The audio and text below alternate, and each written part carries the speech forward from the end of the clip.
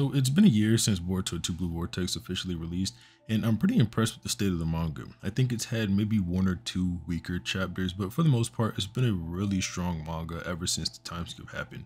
With the release of the latest chapter, which is 13 at the time of recording this, the manga just had one of the best chapters I think in the entire Naruto franchise, and with it leveled up the entire manga as well, showing us that not only is Kishimoto in his prime, he can still write like he used to. Today I want to go over Boruto's good and bad parts because it's just something that has to be talked about. Just like talking about how Boruto's journey is similar to the journey you'd experience with today's sponsor. If you love these intense battles, epic storylines, and the journey from underdog to unstoppable force that we see in these series, then you're going to want to check out Overmortal. It's an engaging text-based RPG where you can transform from a mere mortal into an immortal. Playing the game is just like playing through your own comic origin story. To celebrate its anniversary, Overmortal is hosting an exciting crossover event with the beloved fantasy series Tales of the Demons and Gods. From August 22nd to August 28th, 2024, you can join Nie Li and Ye Zi on an exclusive adventure as they navigate the Overmortal universe. During this special event, you'll unlock collab themed skins and explore new areas like Glory City, face unique challenges, and earn rewards like the Chrono Book and Nightmare Urn. You can also unlock the powerful new Divinity Master Buddy through value packs, plus daily login rewards and world bonus chats will provide additional benefits, ensuring a rich and immersive experience for all participants. Don't miss out on these exclusive rewards. Download Overmortal now with the link in the description or the QR code and use promo code DG010 to receive a treasure token, Fatum times 150, and Nimbus Jade Slip times 20. Jump into the adventure today. The first thing I want to talk about is just Boruto himself. It was obvious from the beginning of the series that this was going to be different than Naruto. How much different remained to be seen, but Boruto obviously could not just be a repeat. The story structure seemed to be heading to, or at least leaning on, good guy Sasuke and a bad guy Naruto, those being Kawaki and Boruto respectively. But now we know, or at least it seems like, Kishimoto has fully committed to this idea. Boruto is not like Naruto in almost every way that matters, and I think his story is going to end the opposite of Naruto's as well. Where Naruto's story is a story that reminds you to be hopeful and that you can change fate, Boruto's story will be a sad reminder that that's not always the case. Of course, it won't be so simple. Kishimoto is much more creative than me, but that's just where I think the story is headed. In many ways, though, I think Boruto being the opposite of Naruto sort of makes him the extreme of Sasuke. Whereas Sasuke lost his clan to his brother, Boruto lost his entire life to his brother and switched positions with him. There is the fact that Boruto also had everything from the jump from the beginning of his life, unlike Naruto, but just like Sasuke. And I think that makes it really cool that Boruto's adoptive brother is the one to completely turn his life around because unlike Sasuke, whose real brother made everything go bad for him, that loss is what happened. With Boruto adding to his family is what eventually led to that loss. Now, that's enough narrative jibber jabber. I'm a power scaler. Rasengan Uzuhiko is just really cool. Putting aside the fact that Boruto one-shot Code with this ability while it was nowhere near at full power, a Rasengan that uses the force of the planet added to Boruto's own Rasengan in order to do internal damage and non-stop internal damage until Boruto turns it off is just cool. Keep in mind, this is a jutsu, like I said, that's supposed to be doing internal damage. And when Boruto charged it up, not even to the max, he blew Hidari apart with it. Uzuhiko also ties into another really cool plot point that I'm going to bring up later when I start talking about Kashin Koji and his new ability to see the future. But the end of it is Boruto basically shouldn't even have this ability right now. This is technically Boruto reaching into the future and getting an ability from himself that he's going to learn way later on. Now, we don't know exactly how much in the future, but given the extremely high tier nature of the jutsu, you could say this is 20, maybe even 30 years in the future. Since Boruto, unlike Naruto, is unknown to use the shadow clone technique in order to boost his training. And even if he could, Boruto has been shown to make like four clones at once, and given his relation to Sasuke and how much he fights like Sasuke now, I think it's highly unlikely that he was using the shadow clone training method. This is also Boruto without his karma mark, and that's another really important thing in this manga.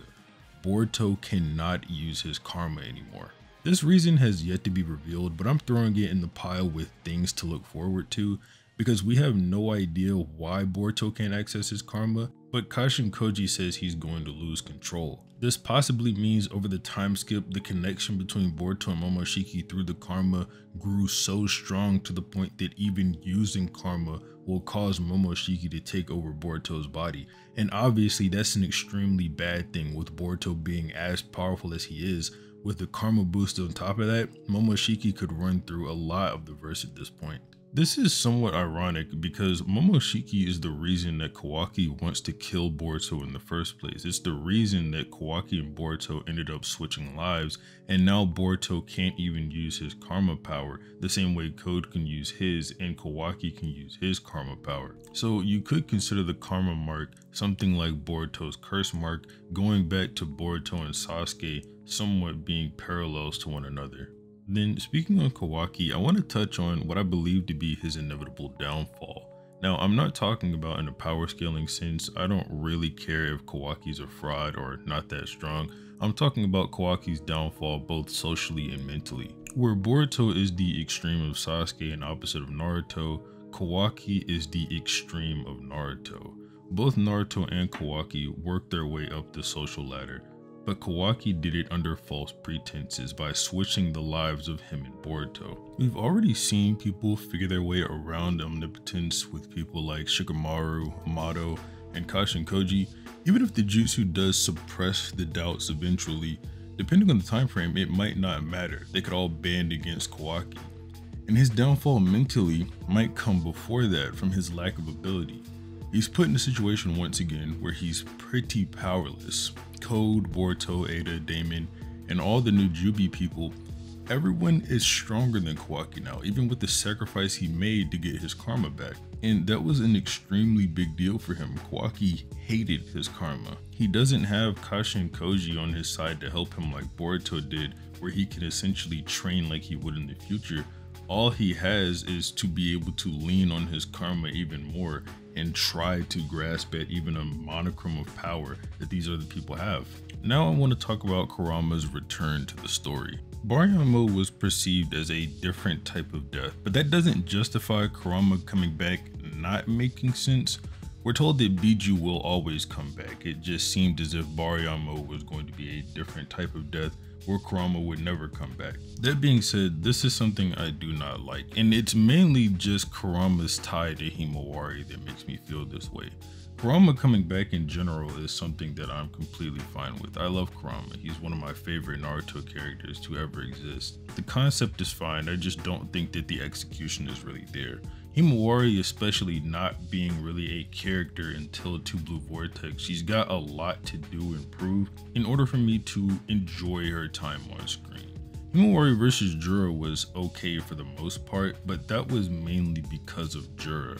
Himawari doesn't do anything particularly cool in that fight, except bring out Jura's interest in fighting and make him want to go all out for the first time. So for the most part, I think this two to three chapter stretch is pretty much the weakest part of Two Blue Vortex so far, and some of the weakest chapters I've seen from the Naruto franchise. Now I mentioned Jura, and Jura is part of this new Jubi villain group. Some people are calling them the Jubtastic Four. They don't have a name yet, maybe they'll get a name in the future but so far they seem to be a little bit more interesting. The way these divine tree people are made is that one person gets grabbed by a Claw Grime, that person is turned into a tree, their chakra is sent to the Jubi and it in turn makes a completely new person. So far the people who have been taken in are Sasuke, Moegi, and Code's assistant Bug. These people all seem to be the opposite of what the other person was in their original life, where the person that the original host loved the most, the Jubi clone wants to devour the most, just like the God Tree always does. We don't know who Jura is a clone of yet, but there are some theories being thrown around that he just might be the main Ten Tails given a personality, and I think that's probably the more likely route that's going to be going on for the rest of the series. At the end of the latest chapter, we learn that we're about to see another one of these Jubi clones appear, and this is a chance for something extremely cool to happen. Now, it could be Shinki, it could be Orochimaru, it could be Gaara, it could even be Kakashi. It would be Kakashi's first appearance in the Boruto manga as a whole. He did not show up at all in part 1, and he hasn't shown up yet into Blue Vortex. The potential here is quite insane though. If Gaara or Shinki is to be absorbed, that would be a nice way to bring the Sand Village into the fold of Boruto, where most of the other villages have been out of the story for the most part. It being Shinki is also increasingly likely, as we see a future vision from Kashin Koji showing us that Shinki has indeed turned into a Jubi clone. A lot of people have thought this to be Naruto's clone, but I really disagree as Naruto's locked away in Ishiki's timeless dimension as Kawaki put him there, so I don't really see how Naruto could get a Jubi clone. Unless it was to grab onto some remnant of chakra like Kawaki's prosthetic arm that Naruto powered way back during part 1 after Kawaki lost his arm in the Delta fight but we don't even really know if the Jubi clones can latch onto that and then recreate a personality from it. It's just certainly a possibility and something that I think could be pretty cool. It could be Orochimaru, but it would be a little weird if it was Orochimaru because I don't know who Orochimaru would go for.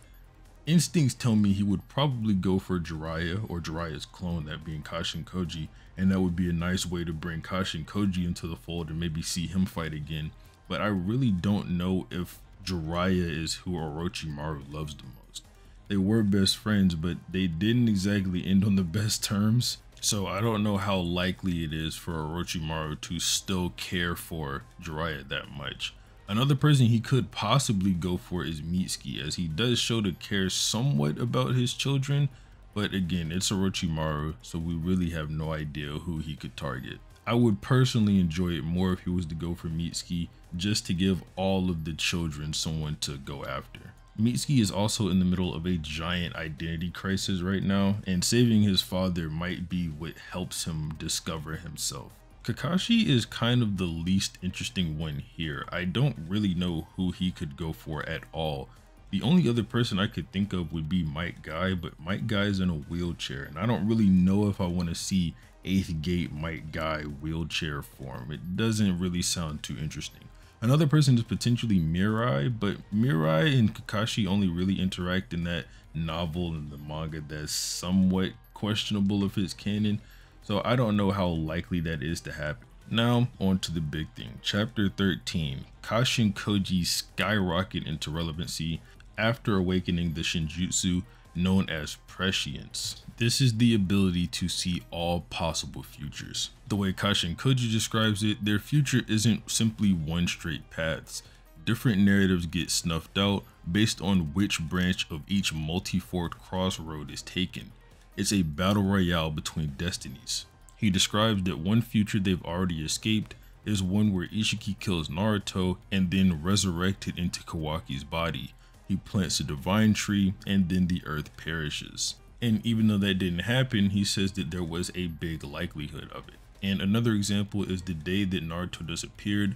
Whenever Kawaki and Boruto had that confrontation, if Kawaki had managed to kill Boruto and kill Sarada as well, then he would have lost tremendously to Code and then been devoured by Ten Tails in which the planet would be destroyed. But a future that has not happened yet, the very worst possible future, is one where Boruto ends up being killed by Jura. It's not an absolute thing, but as Kashin Koji says, a whole lot of futures show it happening.